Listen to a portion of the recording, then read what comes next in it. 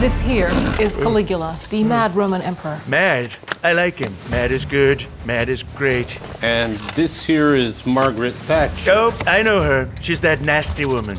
What an inspiration. Who's that guy? I've never seen him before. Uh, he's Vladimir Putin, you know. No, I don't. I've never met him. Now, who's that guy? I love the mustache. Say, Melania, should I grow a mustache like that? Would you like that? And they're all in this film? All of the great guys of history? What a huge crowd. What's the name again? Iron something? Iron Sky, the coming race, Mr. And President. where am I? I can't find myself. Uh, Mr. President, you. You didn't make the cut. They don't think you deserve it.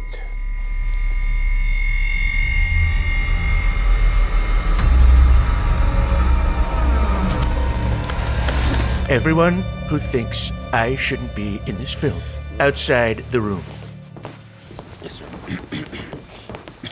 What do you mean I'm not in the movie? I'm just as crazy as that guy and just as nasty as that woman. And I have a much better haircut than this guy. So good. Best hair, actually. Nobody belongs more in this movie than I do. Who do they think they are? They don't know shit, okay? None of them understand me. Nobody understands me.